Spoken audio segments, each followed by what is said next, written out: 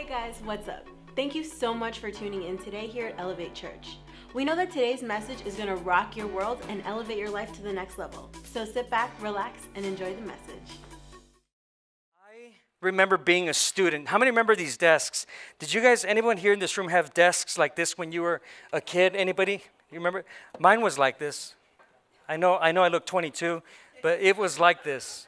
And I remember being in class and having my own desk, and you know, I did a lot of bad things with it.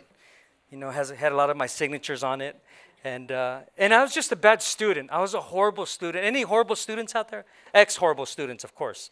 Yeah, just just bad. You just didn't like it. You know, you just, you know what? For me, and I know there was a grade scale of A, B, C, D, and F. And, uh, but my terminology of each letter was different because I was, like I said, I was so dysfunctional. A for me was like, A's for annoying, you know, B is for, um, you know, baloney. Uh, C is for you're a coward if you got C's. Uh, D was, okay, you're doing better, you know. F was fantastic. And I actually did, you know, because my mom, uh, didn't speak that good of English when, um, when we were young. You know, she came here to this country at 21 years old. And, and I remember trying to convince my mom that F was fantastic. And uh, I did, Honestly, God. If she's here today at the service, you could ask her. And, uh, and she bought it for a little bit until she found out what it really meant. And, uh, and then she gave me a spanking of my life. But, but I was not a good student, man. I was horrible. I was so bad. Do you guys remember the standardized test that they would do every single year? I hated that thing. You know why? Because they would cram all the kids from the school in the cafeteria. And if you remember, they had the, uh, the whole uh, letter, you know, the scan sheet, and you had a you get a booklet, and and and you have to bubble in your your your options, etc. And and and I and I I hated this test because it basically it it dis, it helped the school discover uh, my, my academic growth. Uh, the standardized test was for the state to, to get an overall picture of the academic growth of the school by its students. And, uh, and I mean, I was so bad, honest to God, every test I took in, in school, and if you're, if you're any student here, okay, this is bad. I don't, this is, don't, don't follow my path. I mean, I turned out good, praise God, but I went through hell before I turned out good. Um, but I would literally do bubblegum, bubblegum in the dish. How many pieces do you wish? I pick this one. And that's how I would choose my answers. And, and, uh, and I honestly, I did just, uh, do you guys remember the word problems? You know, if Billy has seven pieces of gum and he eats, I'm like, I don't give a rip if Billy has seven pieces of gum. You know, give me a piece, right? And, and, and especially when, when I remember the mathematics, I just put any number and it just like, okay, like, well, why did you get that? Well, just, that's what I was feeling. I was feeling that number, you know. I was feeling seven, you know, I was feeling eight, you know. And, and so I was just a bad student. And, uh, and now, of course, I, I, I've obviously, once I came to Christ at 21 years old, I realized I wasted life. I wasted an opportunity to be better. Um, and uh, and uh, I, I have been self-taught. I, am a, I'm a, you know, I, I, I read a lot. I, I, love reading. I love studying, and and obviously we believe in education now. We have a school in Oaxaca, Mexico, and and we're we're we're bringing education to a state in, in a country that is 50 years behind in their education. And, and I believe in it so much, and I'm believing for one day for us to also be able to do something here in America where we kind of have a school for your kids that can come and get an education that will not only uh, give them the academic strength they need to do something awesome here in, in America, but also to give them the, uh, the spiritual strength to, uh, to be great leaders as well as, uh, as kids of God. But, uh, but I want you to know this. The, the monitor would always say in that cafeteria, ready? And we'd like, okay, pick up your pencils. And everybody had to pick up their number two pencil, right? It couldn't be number three or one, it had to be a two. And, uh, and they said, go. And then boom, the clock would go off and, and then everybody would go. Well, guess what? God also has students, and they're called disciples. You see, disciple the meaning of disciple, if you read the scriptures, it says we are disciples of God, we're disciples of Jesus, and we're to follow him, right? And so, disciple is a student or a learner. That's the definition of a disciple. But God says, ready, set, grow. And he does that from the very moment that you receive Jesus Christ.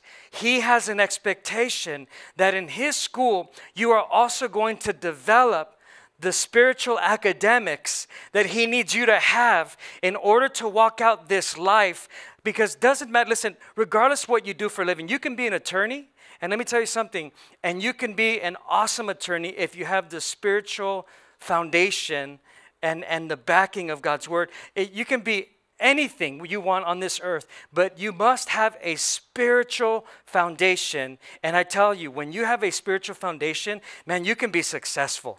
You can be blessed. And I know that because coming from someone who, you know, it messed up my whole school, everything from elementary all the way through high school. And then I didn't go to college.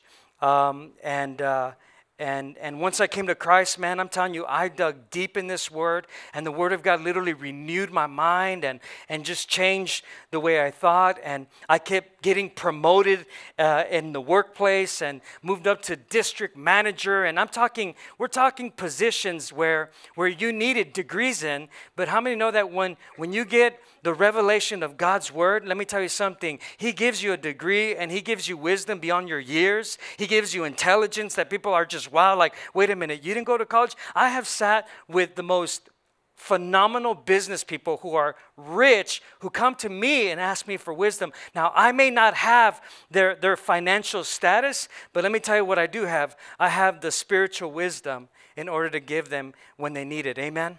And that's what God wants to do with all of us. Say it, I'm a student.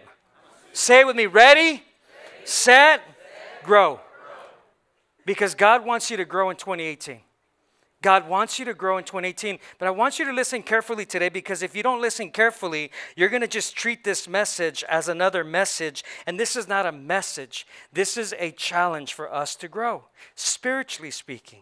You got to grow up spiritually. And I truly believe that when you grow up spiritually, you'll also grow up in the tangibly, in the physical realm as well. There's, there is something to say about your spiritual walk has, has a connection with your physical walk and what you do for life. It really does.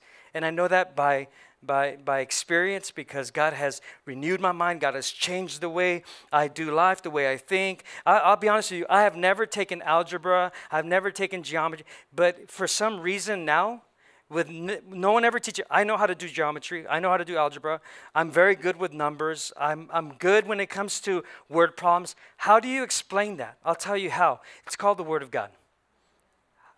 But you didn't go to school. It doesn't matter. I'm telling you. I just know.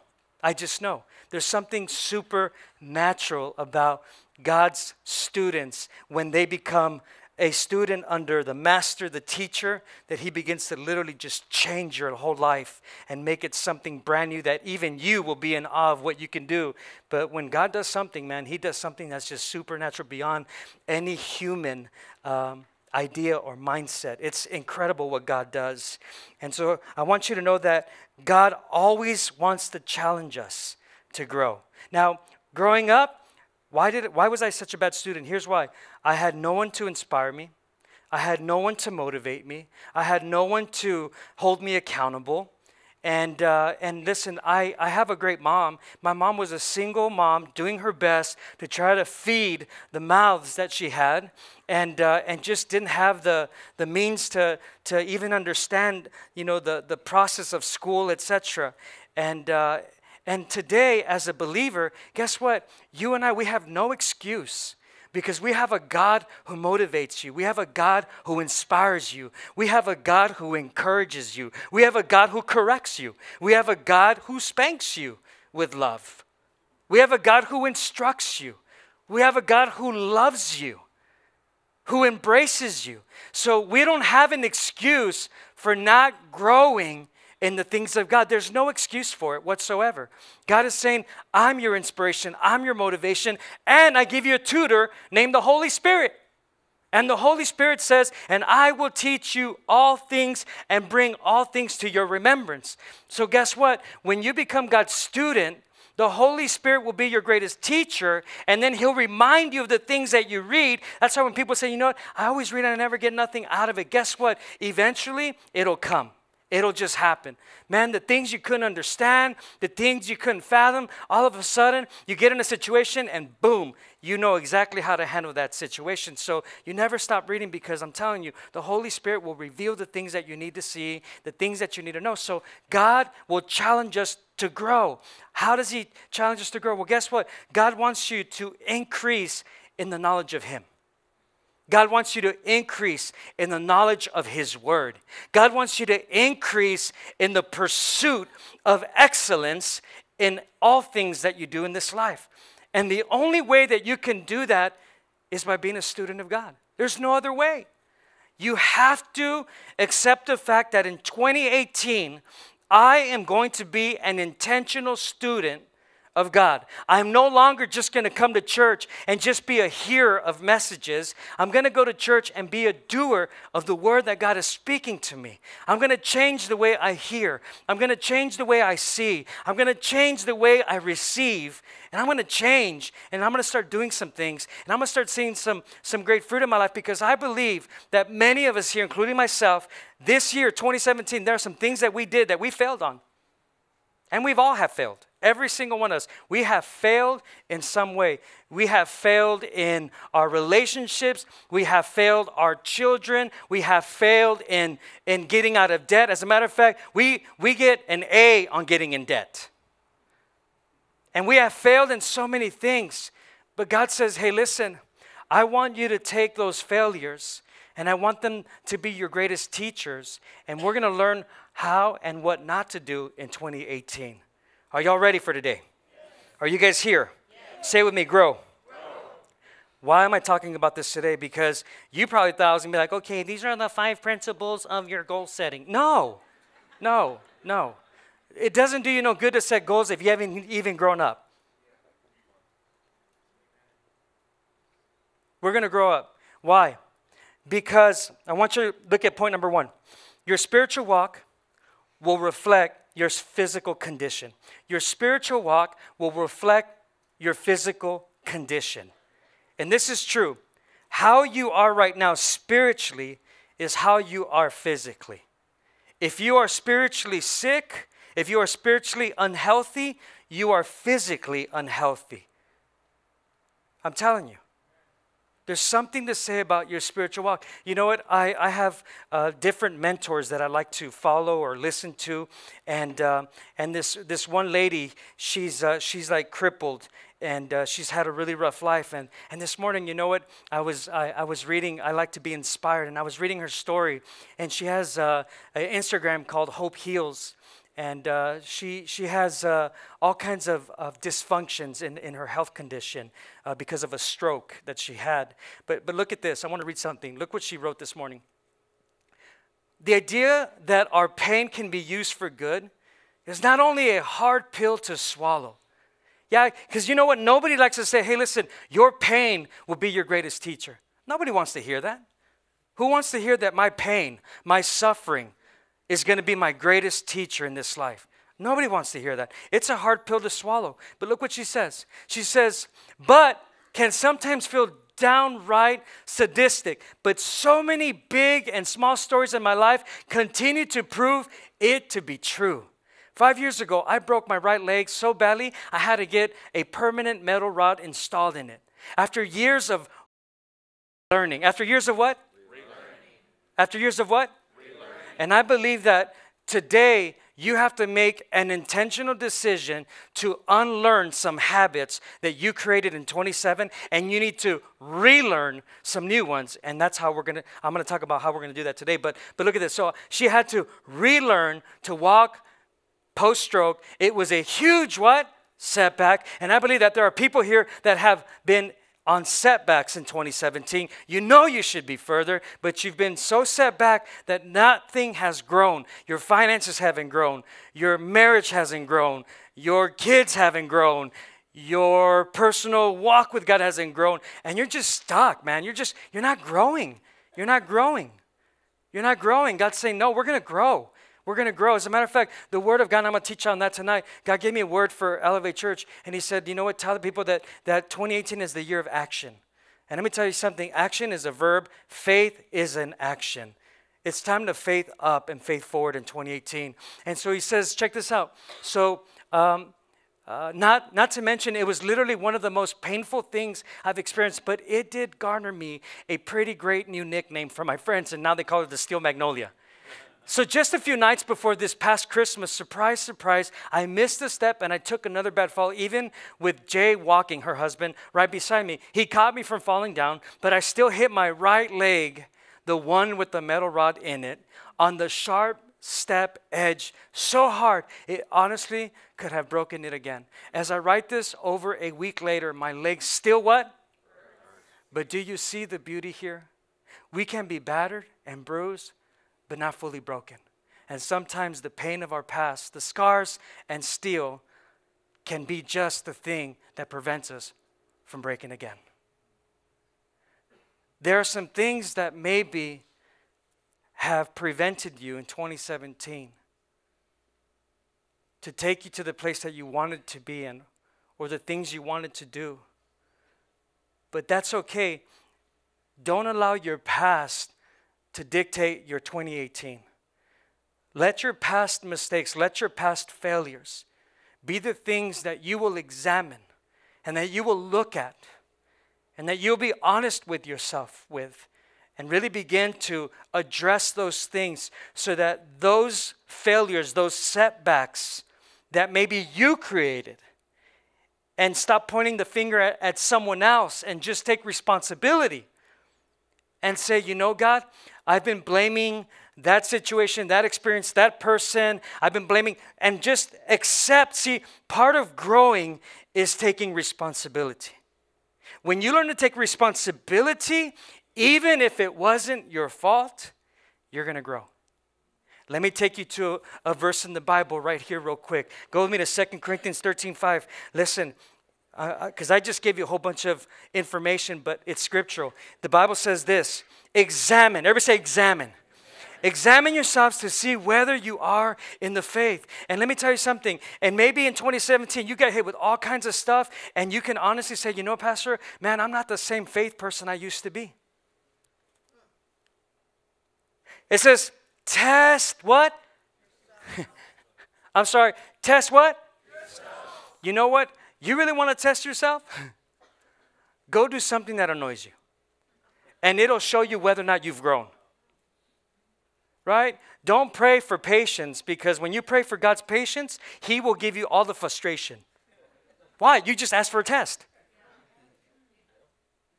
Right? Don't, don't pray, you know what? God, give me more money. Because listen, more money, more problems. Yeah. Yes, some of you, you don't know what to do with money, so you get in debt again. And you fail the what? Test. You fail the test. And so look, he says here, he says, test yourselves. Do you not realize that Christ Jesus is in you? And he goes on to say, unless, of course, you fail the test. You know what? I, I, I, sometimes I wonder if anyone's really listening to me here because I'll preach a message and, and I'm giving you tools and application and things that you can apply and help you grow. And, and then you talk to people and it's like, wow, were you in the same room with me? Uh, like I just talked about that right now, and I just gave you, you know, some some some tools to do it. And, and and you know what? Here's the reality. Here's the truth. I think that that when we get to the place where where we're constantly seeing our life fail, fail, fail, fail, and, and I'll get to failure right now. I, I, I really believe that most, if not often, the issue is that we stop realizing that the greater one who lives in us is greater than whatever you're facing in this world. And his name is Jesus. And so here he's saying, hey, listen, examine yourself whether or not you're in the faith. Do not, don't you realize that Christ Jesus is in you? In other words, man, there is no way that we should keep having failure after failure after failure after failure after failure willingly willingly willingly and we're and we're being intentional intentional intentional you know when you're willfully sinning when you're willfully sinning your intention is of course to not pass the test When you're willfully not forgiving? See, some people say, I just can't forgive. No, it's not that you can't, it's that you won't forgive. Why? Because you're willfully not willing to forgive or let go of that situation. So, guess what? You fail the test. And why do I fail the test? Because, of course, you forgot who lives in you, and his name is Jesus. Are you hearing me? I know y'all probably came to hear a nice little story on goal setting. No, no, we got to grow. We, we got to grow. Because I, I honestly believe that, that, that there have been many of us that have maybe failed this year in, in our faith walk. You know, you, you let things distract you. And listen, it could have been a bad relationship that you got linked up with, and, and you got so distracted that, man, you went from, from being faithful and committed and loyal to your God to all of a sudden you've been so distracted that you lost that relationship, that, relationship, that connection, that intimacy with God. When God's saying, hey, listen, I need you to grow in relationship with me, but you let something come in and distract you from it. You know, or maybe you can say, you know, this year, man, I can look at my life and, and, and I'm, as I'm examining myself, Pastor, I realize that, man, my hunger meter has been on empty, man, for the last eight months. And I haven't done anything about it. You know, I've noticed that, that I don't have a hunger for His presence. Like, all I do is, is I'm hungry to complain about what hasn't happened. And, and I've been thirsty to talk about all my issues and my mountains instead of being hungry for the one who lives in you that can handle that situation. Turn your eyes upon Jesus. You can't just sing it and not live it. See, I want to take us in 2018 from the place of just reading the letter. Come on, we need to go from reading the letter to it. Sorry about that. Can you pick that up for me, please? To, to it being your life. In other words, it's no longer what scripture did you memorize, it's what scripture do you live? Like, which one do you live? Because I can care less how many you've memorized. I want to know which one is your message, which one is your lifestyle. Are you hearing me today? And so God's saying, hey, Mauricio, 2018, there have been some maybe some things. I mean, you have to ask yourself, you know, maybe your your excellence, maybe that has failed this year. You got sloppy. Come on, you started very, very just together and you want to keep things organized. Come on, you know how it is. Let's move the house around. Let's move the furniture. And it's funny how how we we try to change the the outer right? The physical things, not realizing that you got to start with the internal things before you can fix the external stuff. And we, we, have, we have twisted ourselves so bad that we want to change all the outer limits instead of dealing with what's happening inside. You see, you can, you can change your room, but you ain't changing you. Come on. You can redecorate and still be the same old you. You can do all those things, but you ain't growing. And this, this, this is the year where we have to say, enough. I have to go ahead and examine myself whether or not I'm in the faith. Examine. And he says, test yourself. Test yourself. You know, some of us, maybe, man, we, we have to examine say, you know what? Every time Pastor talks about tithing, man, I get weird about it. Well, guess what? The only reason you're weird is because you keep failing that test. God wants you to pass the text. Now, let me talk about failure, okay? Everybody say failure, failure. is underrated.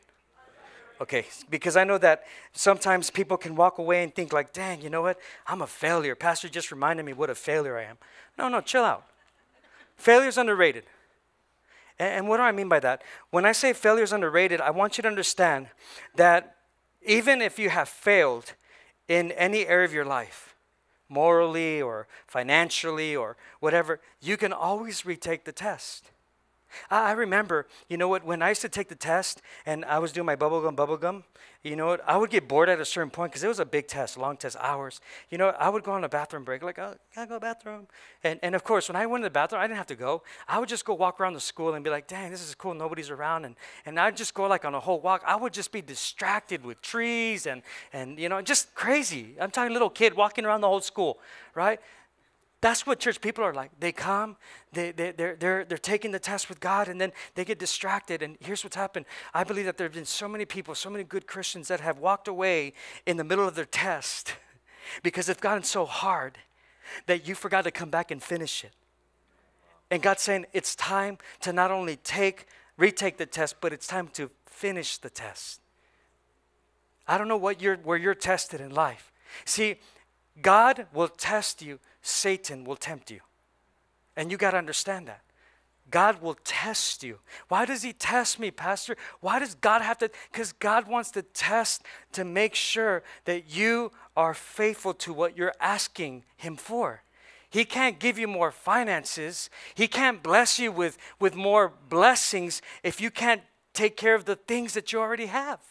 And so God's saying, This is the year of action those things that you have been just putting aside, man, that, that table where you were supposed to take your test that you've walked away from, you got to go back and you got to retake that test all over again. And it's going to be awesome. And it's going to be amazing because, listen, when you take God's test, God rewards faithfully. He rewards big time. Hmm. Say, failure, failure. is underrated. underrated. When you avoid failure, you avoid success. It's so true. Why? Because failure is the doorkeeper to your success. You got to realize that. It's the doorkeeper to my success. Failure basically puts you in a place where, uh, well, let's bring it back to education. Failure is like a foreign language. It really is. I remember being in school taking Spanish. I sucked. Here you, but my listen, I failed, but my Asian friend got an A. I'm like, this is horrible. How does the how does the Mexican guy fail Spanish 101. And my little Asian guy, you know, because I remember when I when I said Spanish, i was all cocky. I'm like, yeah, psh, it's gonna be an A, man. I got this. I'm Mexican, you know. I'm like, it's gonna be amazing. I failed miserably, but my little Asian friend, man, he's like, hey, talking to y'all in Spanish and just being all Mr. All that and a bag of tortillas. I mean, it was just amazing how I'm just like, wow. But you know what it did to me? It, it really just, it, it, it put me at a place of shame. And, and it got so bad that, that I didn't want to speak Spanish at all. It, it got so bad that even as I was in ministry, and, and people would ask me, Can you do this in Spanish? And when I'm like, Nope, only English. Sorry, get a translator. You know? it, it, was bad. Like, Hey, can you preach? No, uh, I need an interpreter if you want me to preach. And, and you know what? I kept doing this till I finally got to a place like, Wow, wait a minute. You know what? The very thing that God needed me to pass was for the very purpose of what I'm doing now. You see, because now I preach in Latin America the gospel of Jesus Christ. Now we have a school where we bring education to children who are at risk of being the modern day slaves. Now I sit before people in government in Latin America where I'm able to cast the vision of what God wants to do in their nation. You see, the very thing that you've been afraid to go back and retake as a test is the very thing that's linked to the blessing and the breakthrough breakthrough and the call that God's trying to get you into.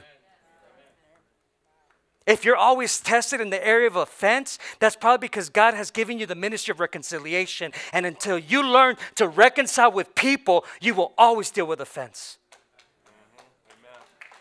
Oh, that was an amen right there, or that's an omi, I don't know.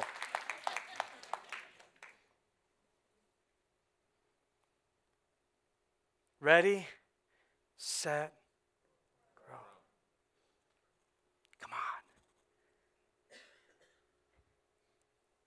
failure is a foreign language, and you have to learn the language of failure.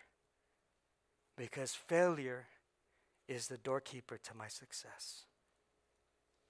It's your greatest teacher. You didn't fail. I just learned how not to do it. but if you willfully keep failing, shame on you. Now that's shame on you. Oh, Pastor, dang, you know what? Why do I got to get tested like that? Why does God have to test me? Listen, God tested his own son. You see, while Adam sold you out, Jesus saved you. Adam sold us. We need to talk to Adam when we get to heaven. yeah, but I wonder how many zealots are in the church.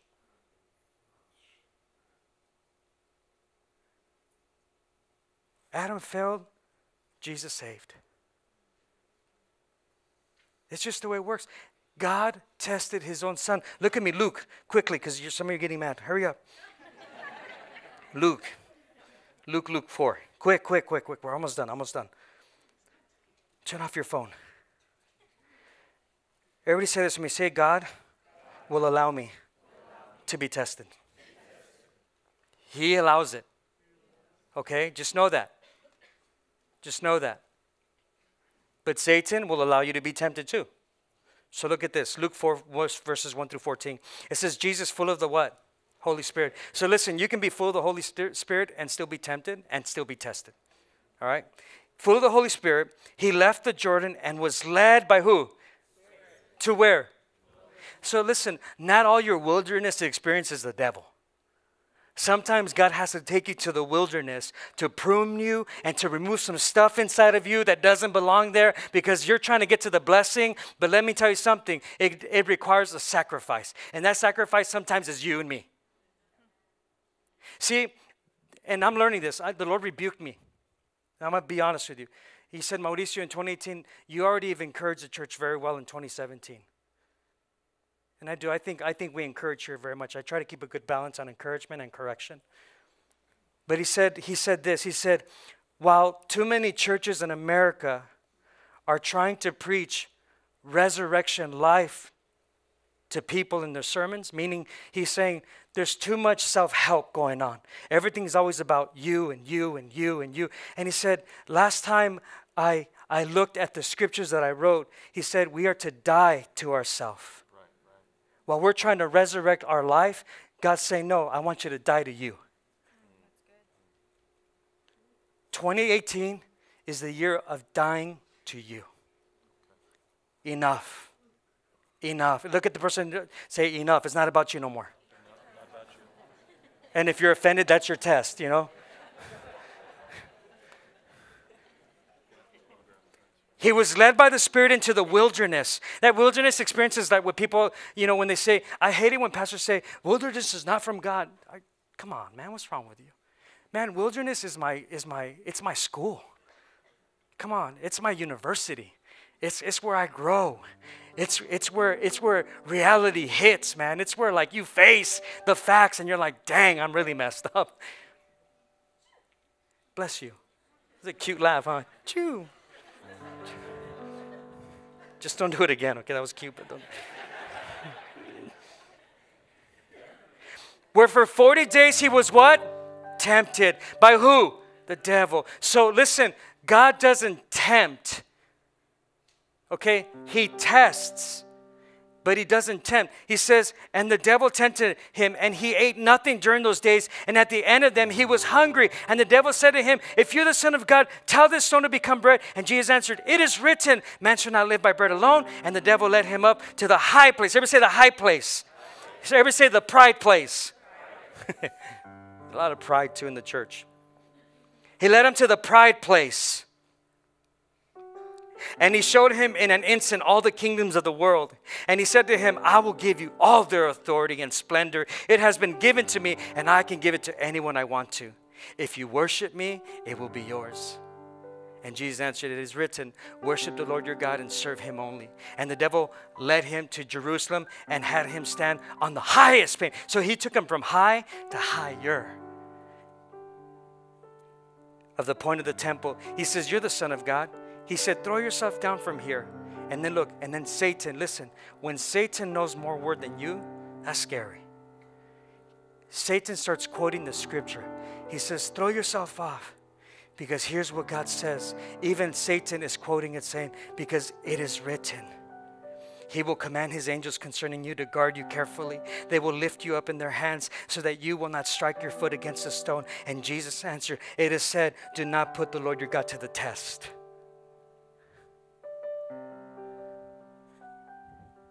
When the devil had finished, everybody say, when the devil had finished, you remember the standardized test? Okay, at the count of three, we are finished. Put your pencils down. One, two, three. Jesus, right here, was in the test. And when the devil finished, look at this. All this tempting, he left him until what? In other words, the test and the tempt is always going to happen every single year. The question is, which ones have you failed? Examine yourself. But look, after you pass the test, here's what happens to you and me. After we pass the tempt, here's what happens to you and me. What happens is verse 14, and then Jesus returned after the test to Galilee in the power of the Spirit, and news about him spread through the whole countryside. Let me tell you something when you pass the test, there are rewards that come with it. When you pass the test of pain, let me tell you something, there is going to be a shout that's going to come out of you, and the whole world will see it. Come on, your family, maybe they've been looking down at you. Maybe friends, maybe people were, were, saying, Man, you're no good, you're nothing. But because you have endured, because you have passed, because you have pressed, because you have faith and you trust, let me tell you something. At the end, even they will know, dang, nothing could have taken them out, not even my words that were trying to bring them down. You will pass the test. And when you pass the test, you'll get his best. That's what God's promise is. Say, grow. I mean, think about it. How many parents do I have here? Lift your hand if you're a parent. Okay, parents, listen to me. You will relate with me, okay? I got two kids. Wouldn't it look funny if if there was a 25, 30, 40, 50, 60 year old man in your child's junior high class? I'd be like, bro, grow up. What's wrong with you? And he's like, oh, I didn't, I didn't, I, I just, I wasn't a good student. I'm just, I want my junior high diploma. No, dude, it's too late, dog. What's wrong? Get out. Are you crazy? I mean, first of all, I wouldn't want some old dude with my daughter. But check this out. How is it that you would think that your heavenly Father will look down on you, his son, and allow you to keep failing? God wants you to keep passing. It's his greatest desire and He gave you a tutor, the Holy Spirit. There's no excuse. He lives in you, He will help you. Greater is He that lives in you than He or she or they or what is in the world. He's greater. But have you lost your faith? Do you not believe that anymore? Because God's saying, Mauricio, He's saying, Elevate Church, ready? 2018 is coming. Set means get in position, and grow means I'm going to elevate you. Ready, set, grow. But, Pastor, but you don't know, man. Man, I've just been tested in my health, tested in my in my finances, tested in my relationships. Well, let me tell you something. There's a reason for that. There's a reason because Ask yourself, just maybe I keep dealing with that same area because God still can't trust me yet. Because I keep failing that test.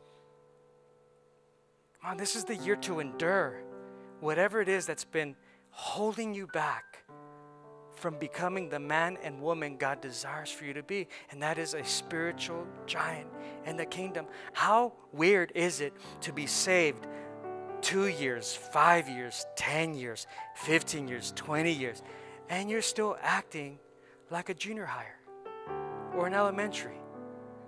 Like you can't even think of one verse that can get your body healed.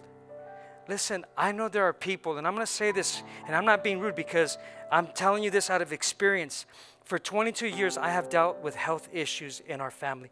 22 years, and it has not stopped. But because I keep passing the test of sickness and disease, God keeps me going and my growing.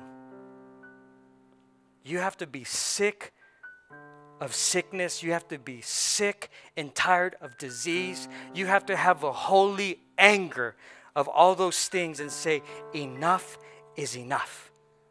Because this is delaying me for my greatest breakthrough. Guess what? The reason I have been challenged so much in sickness is because God reminded me in the last few days, He said, Mauricio, I gave you a healing anointing to pray for the sick and see them recover, and I want you to come back to that. I'm telling on myself. I examined myself the last few days. He said, Son, I anointed you, man. I gave you the ministry of healing and you walked away from the test. So come back 2018, I'm back at that chair.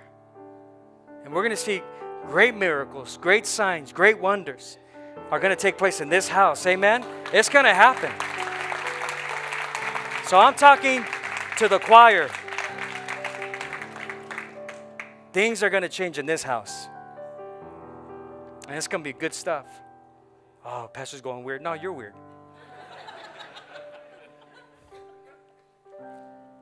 You can be weird while I walk healed. I got a new knee. I got a new knee. You, and you're going to, listen, and you're going to have a rebirthing inside of you of something new too. Man, you're going to have the greatest desire for His Word. Look at this quickly. Let's get out of here already. Two more, two more verses. He says, uh, Hebrews 4:15. Close your stuff. Let me just read it to you. For we do not have a high priest who is unable to empathize with our weaknesses, but we have one who has been what? Tempted and also what? Tested in every way, just as we are. Yet he did not sin. Isn't that good news? Look at this other one. So what do I got to do, Pastor? Well, I'll show you. 2 Timothy 2.15, he says this. He says, study. Everybody say study. He says, study. What's that word study mean? It means to be diligent. It means to strive. He says, study to show thyself approved unto God, a workman that needeth not to be ashamed. You see, whatever it is that has shamed you to go back and retake, no more shame. Go back, take the test. You will pass. He says, rightly dividing the word of truth. In other words, God is, God is saying, man, Mauricio, I want you to, you to be diligent in living faithfully before me. Faithfully before me. And not that, not just faithfully, faithfully requires suffering. Nobody wants to suffer. But the reality is when you pick up your cross and you follow Him, it includes suffering. So stop getting so mad about, I'm so suffering. Comes with it. You want to grow? Suffer a little bit. But that's wrong. Oh, see, because if not, the, Satan will twist you and say, You see, the reason you suffer is because you got no faith. No, the reason you suffer is because I got faith. If I had no faith, my suffering would be different. As a matter of fact, when I'm not suffering, I must not be doing something right. I must be living for me if I'm not suffering because living for Him requires some suffering. Why? Because you know what? If you want to have a beautiful set of roses, man, you better be pruned. There's going to have to be some cutting, there's going to have to be some removing from your life. And that hurts sometimes because God sometimes will have someone in your life that doesn't belong there that must be cut from you. Why? Because it's distracting you from God's greater purpose. So don't get mad. And don't get even. Be happy. Study. That means I have to sacrifice. I got to wake up earlier. I got to read my word. I got to pray. I got to chew on God's word. I got to meditate. I got to think about God's word. I have to examine myself. Tonight, today, I want you to go home after this. Go examine yourself. Check yourself like, okay, where did I where did I fail that I'm going to retake in 2018 because maybe this year, man, I've just been a poor uh, churchgoer. You know, I've been skipping school. You know, I just come to church when something's going wrong in my life and then I show up. Or I just show up on holidays because I'm the holiday Christian. You know, no. I'm not going to skip. I'm not going to cheat. Man, I'm going to be faithful to the one that I proclaim I serve.